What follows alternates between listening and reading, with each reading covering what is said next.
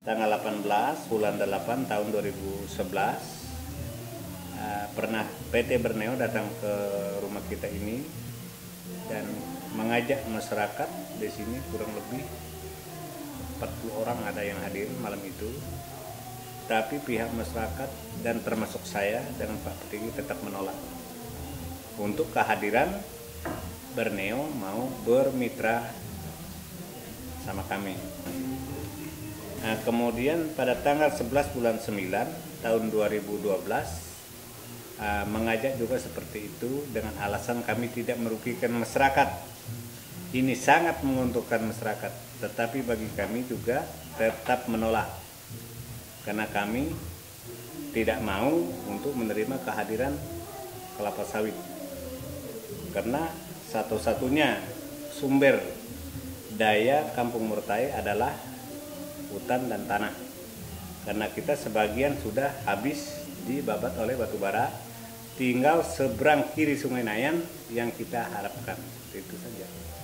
Tetapi kayaknya perusahaan tidak perlu tahu tetap jalan sendiri. Walaupun bagaimanapun kami mengajakkan masyarakat naik ke sana orang kalau lihat kami stop tapi kalau di belakang kami orang tetap gusur bahkan bisa malam juga mereka bisa gusur.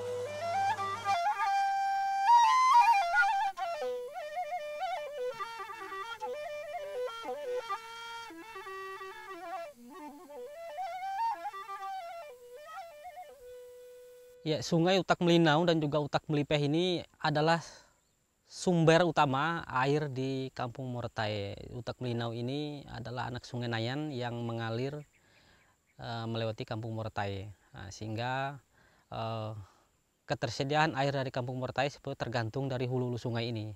Nah, dengan kondisi rusaknya sungai seperti ini maka tidak ada lagi sumber air untuk konsumsi masyarakat di kampung.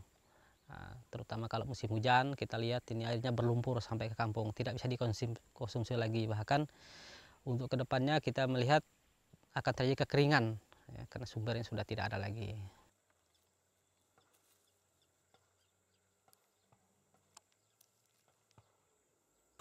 Kenapa ditanam pisang, Pak? Perlu ditanam karena merasa ini lahan kami pada ini. Siapa yang gusur ini? Gusur orang orang perusahaan gusur itu. Perusahaan apa? Perusahaan PT Perneo. Pernah dijual kan? Belum, tidak dijual itu secara gusur secara pasar.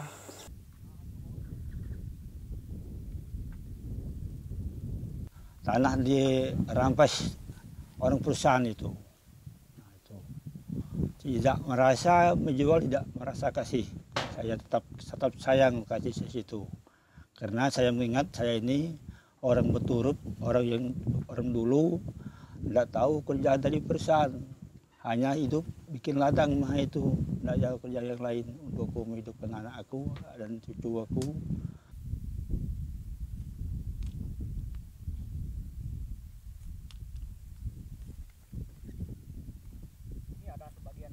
Ya perusahaan PT Berneo. Eh, pertama mereka itu gusur paksa Nah, sekarang mereka tanam sawit, nah, jadi saya untuk mempertahankan tanah saya kembali seperti dulu, nah, yaitu saya tanam karet.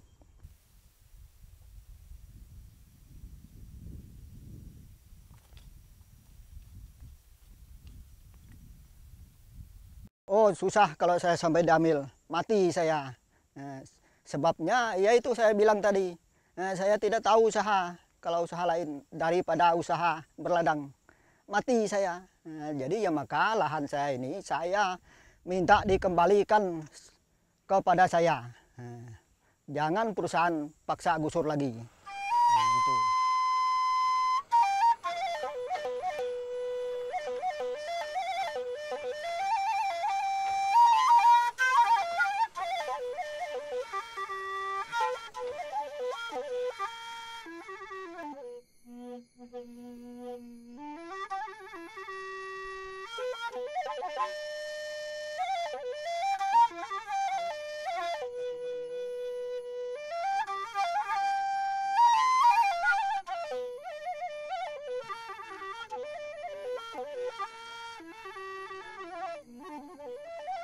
Berkaitan dengan masuknya PT Borneo di wilayah Kampung Morotai, ya, kita melihat sebetulnya PT eh, setiap perusahaan yang masuk di suatu daerah harus mematuhi konsep-konsep APIC, yaitu mereka harus masuk di suatu daerah dengan melihat persetujuan masyarakat tanpa paksaan dan juga berdasarkan informasi yang cukup dari pihak perusahaan kepada masyarakat. Namun yang kita lihat PT Borneo Surya Mining Jaya ini masuk di wilayah Kampung Mortai tidak sesuai dengan prinsip-prinsip APIC. Karena mereka masuk di wilayah Mortai tidak berdasarkan persetujuan masyarakat. Mereka masuk secara paksa, menggusur wilayah masyarakat secara paksa. Bahkan ketika masyarakat menolak sekalipun, mereka tetap menggusur, tidak peduli dengan penolakan-penolakan yang dilakukan oleh masyarakat Kampung Mortai. Kalau Borneo Mining Jaya ini memang dari pertama eh, datang ke kampung, ya, kami semuanya atas nama masyarakat itu menolak, Pak, Hmm, menolak. Karena lahan-lahan itulah untuk peruntukan masyarakat petani sekitar, tidak ada lebihnya, dan ada sisa-sisa hutan itu itu kan untuk dipelihara eh, kembali penanaman kembali untuk mengembang hutan ya. Jadi kami belum siap untuk menerima masalah kehadiran eh, PT Borneo Mining Jaya kan begitu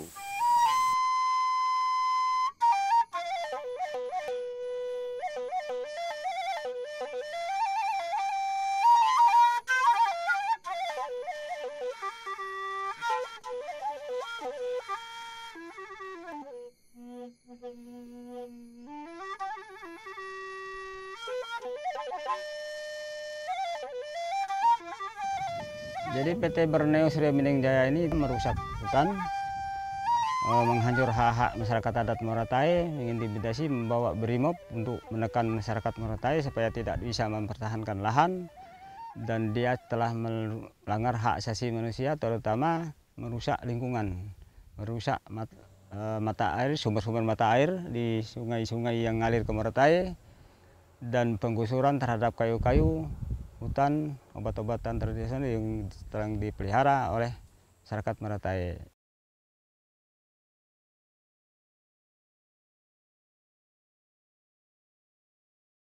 Memang pernah ada PT Borneo mengirim tim survei untuk HCP dari IPB. Saat itu saya dan masyarakat Murtai menolak untuk kehadiran mereka di wilayah Kampung Murtai karena pertama Kampung Murtai sampai saat ini belum menerima perusahaan sawit.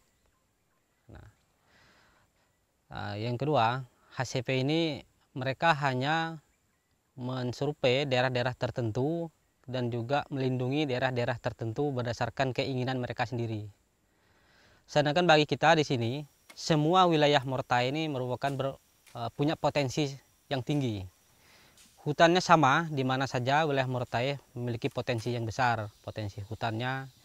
Di samping potensi hutan, sebetulnya bagi masyarakat, wilayah Mortai adalah sumber penghidupan sehari-hari untuk berladang, untuk berkebun, sehingga kalau mau dicari potensi tinggi, semua wilayah Mortai itu berpotensi.